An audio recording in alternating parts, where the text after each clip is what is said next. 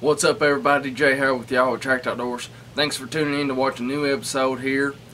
And um, tell you what, this is an awesome, awesome episode um, for season two of Tracked Outdoors. This is just awesome. This is Jaden's hunt. This is Jaden's doe hunt. Um, killed it back in September of uh, 2019 and I'm telling you what, it was pretty awesome. 20 yard shot, couldn't have got any better.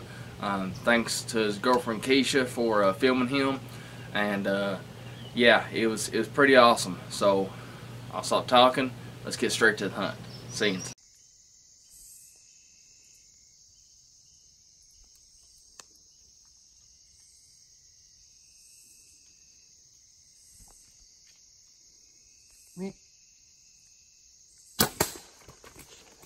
She's done.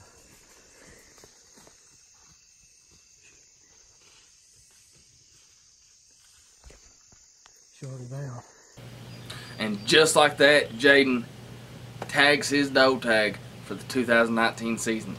Awesome, awesome work. 20 yard shot, couldn't got any better.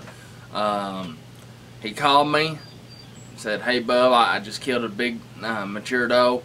Um, didn't go 40 yards. Just awesome penetration, uh, awesome video footage, just all around, just a great hunt for Jaden."